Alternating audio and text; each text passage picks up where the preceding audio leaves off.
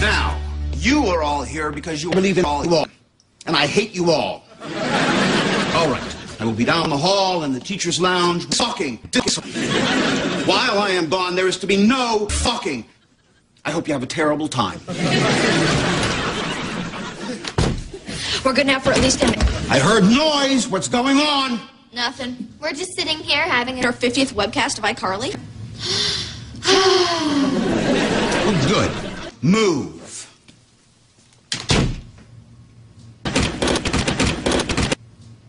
I'll get the stuff out of the closet. I I'll heard noise. What's going on? Don't move. What's going on? Do I smell semen? I have a feeling. Who wrote this? Who wrote this lie? Life have I eaten one eaten this. Somebody gonna confess? Or do you all want to do 200 ass fucks?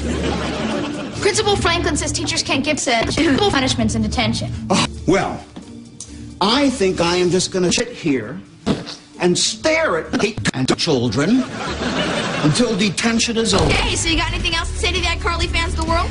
And I think I'll add an extra two hours. Nice.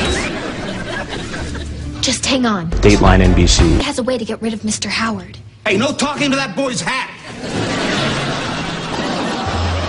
You're all really in trouble now. I am talking suspension. I am talking expulsion. Castration. And you can all start with 500 ass fucks. I don't care what Principal Franklin has to say about it. You don't. No! I, I'm Chris Hansen with Dateline NBC. What are you doing here? We're doing a story on Mr. Howard, Wow, awesome. cool! in my office. But I, I Now. Okay, we're just about done. Bye. And we're clear. How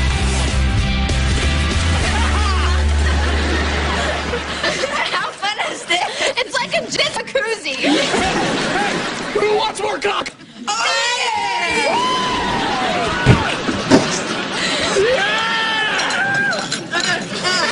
This isn't weird at all.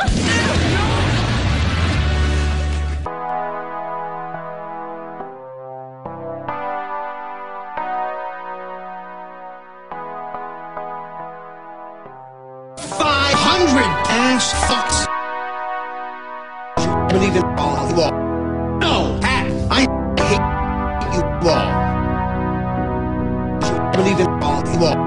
No, no, I hate you all. Stare at hate and children, and castration is over. And I think I'll stare at hate and children and mass patient is over. 500 ass fucks.